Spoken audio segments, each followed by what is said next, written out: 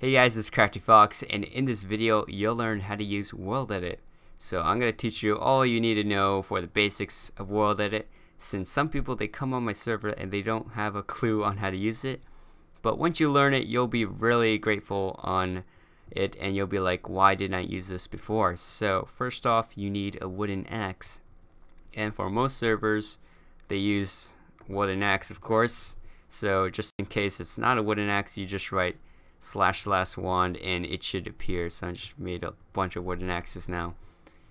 And uh, these are just some of the commands that you can use and I'm just going to teach you the basics. So let's see, let's say you want to make uh, this duplicated over there. So uh, you would get this axe and then you would left click uh, position, the first one, and then you would right click the other corner and then that would select this whole area so imagine it's like 3D. And then you would go to where you want to copy it. So let's say you want to remember this position. Copy. And it can move like 10 blocks or whatever length you need it. And you could just paste it.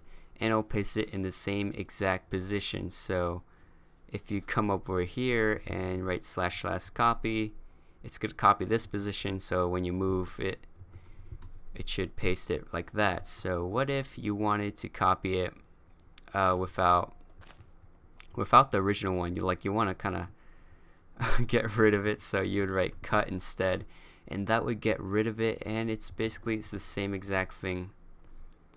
Alright, so another command you can use is move, which is pretty self-explanatory. But let's say you want to move this 10 blocks that way. So you just select the region, slash slash move, whatever blocks you need to do and let's say like you want to undo that you like you made a mistake so you could just write undo and then move 20 blocks like whatever and then you could just experiment with that. And also you can uh, do redo that's another command you can use. So let me just undo that again. And uh, this is uh, another helpful command is stack. So before I learned stack I probably wasted countless hours but basically you can select this region here.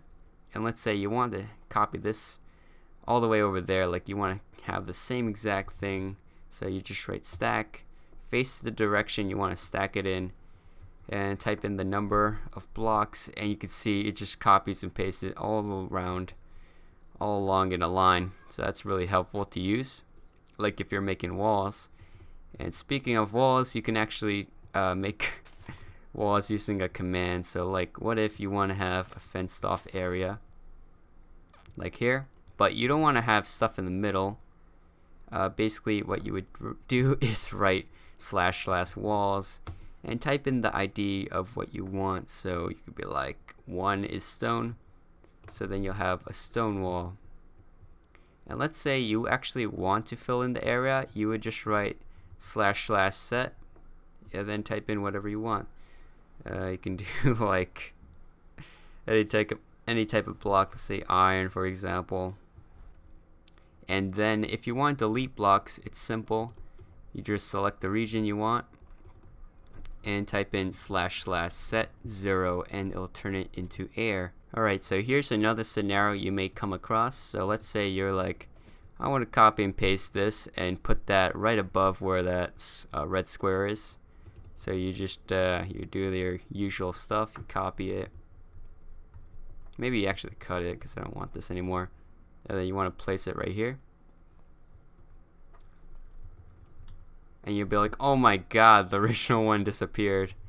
Because it copies the air and like, you don't want to do that. So this is a command that I learned how to do.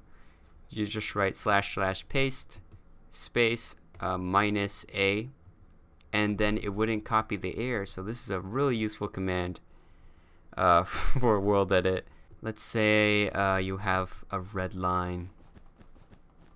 Alright. And then you want to make it diagonal so basically what you would do select the line. Copy it or cut it whatever you want. Rotate and you could put in the angle. So let's say I want to rotate it 90 degrees and then it would paste it like that in a straight line Alright, so what if you wanted to paste it with an angle that's not a multiple of 90, let's say 20 for example. and then that's how you do it basically although it might not be perfect so you can actually do this uh, with like roads and stuff but it's not going to be perfect alright so sometimes it's not going to paste all that perfectly so you're going to be left with little holes but that's uh, what you get when you do this.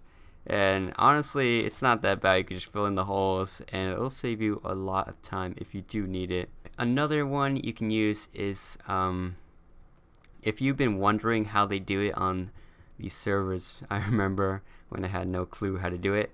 Let's say uh, you saw a mixture of a road for example like dirt stone cobblestone. You're like how do they do that? Do they do it by hand of course not what they do is write uh, set and they type in whatever ID they want. So one is stone, then you put comma, uh, cobblestone.